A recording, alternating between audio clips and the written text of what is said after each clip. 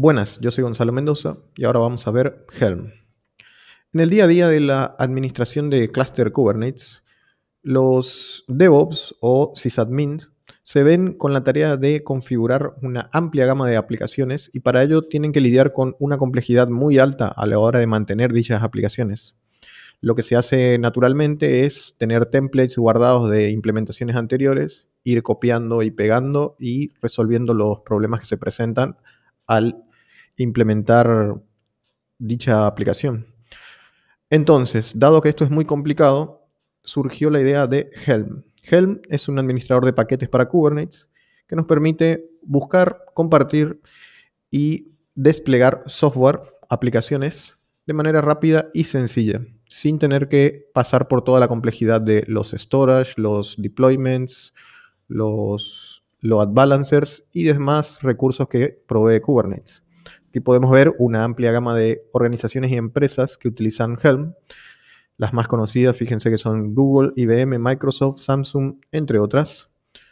Instalar Helm es muy sencillo. Tenemos Helm para varias, varios sistemas operativos. Y también podemos, tenemos un marketplace de charts. Los charts vendrían a ser estos, estas aplicaciones empaquetadas, en el cual podemos explorarlo y utilizarlo de manera muy rápida y sencilla.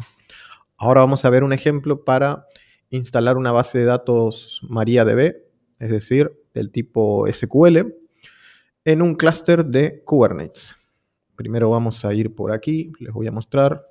Vamos a entrar aquí. Fíjense que este es el marketplace de Helm. Aquí tenemos un número de aplicaciones muy grande, como pueden ver. Tenemos aplicaciones de todo tipo que podemos utilizar. Yo voy a usar MariaDB, vamos a instalarlo rápidamente en nuestro clúster. Aquí tenemos todas las indicaciones. Tenemos los parámetros de la configuración del, del chart que vamos a instalar en nuestro clúster y algunas, algunos comandos para hacer esto mucho más rápido. Bien, vamos a ir por aquí. Vamos a entrar aquí y vamos a copiar esta instrucción, como pueden ver. Primero que nada, les voy a mostrar esto que yo le coloqué un alias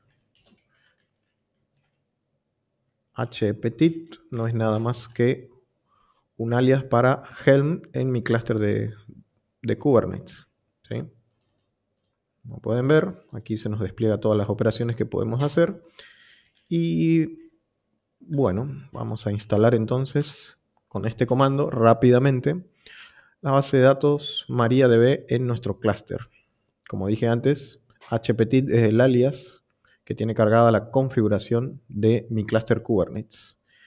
Perfecto, como pueden ver aquí, se me desplegó toda esta información, el cual me indica que el chart ha sido deployado en el clúster y si se fijan, yo puedo realizar, vamos a abrir otra pestaña y vamos a poner, vamos a ver todos los recursos que tiene el, el clúster. Aquí como pueden ver, hace un momento nada más se desplegaron dos pods, un pod maestro y otro esclavo. Y tenemos dos servicios, un servicio maestro y esclavo interno con esta IP en Kubernetes. Finalmente aquí tenemos dos stateful set. También lo que podemos ver aquí son, a ver, los volúmenes. PVC. Fíjense que aquí me creó dos volúmenes, uno maestro y otro esclavo, con una capacidad de 8 GB, con acceso de lectura y escritura. Bien, ahora que está creado este, esta instancia, lo que vamos a hacer aquí es entrar a nuestro conectarnos con un cliente MySQL. Yo voy a copiar este código de aquí, este comando. Vamos a ver. Vamos a fijarnos primero. Vamos a ver los pods, en qué estado se encuentran. Bien, están ejecutándose correctamente, así que no habrá problemas. Vamos a pegar esta instrucción. Uh, perdón, acá me faltó colocarle el alias que tengo para Kubernetes. Perfecto. Y ahora lo que tengo que hacer es, ahí estoy conectado a un determinado servicio que accede a través de el cliente Kubernetes. Ahora vamos a entrar aquí con esto. Vamos a ver. Perfecto. Ahí me va a solicitar una contraseña que yo le he puesto una contraseña muy simple para el root que es test. Y ahí como pueden ver nos hemos conectado a nuestra base de datos correctamente. Vamos a mostrar las, las bases de datos. Databases. Aquí tenemos diferentes bases de datos. Y bueno, aquí ya podemos empezar a, a realizar operaciones en nuestra base de datos. Fíjense que se hizo de manera muy sencilla, muy rápida. Y si queremos desinstalar, supongamos que quisiéramos borrar este, todos estos recursos. Voy a salir de aquí un momento.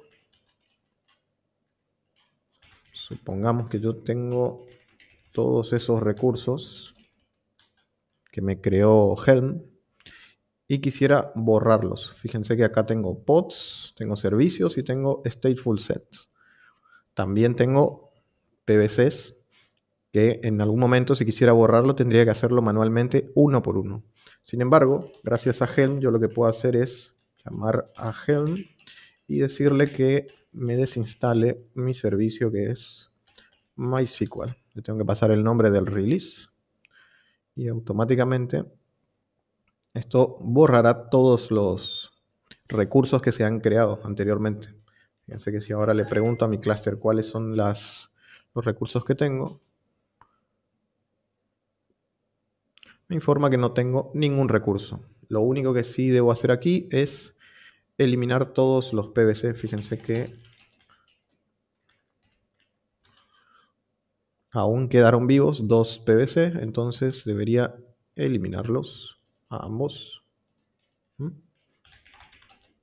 Delete. ¿Mm?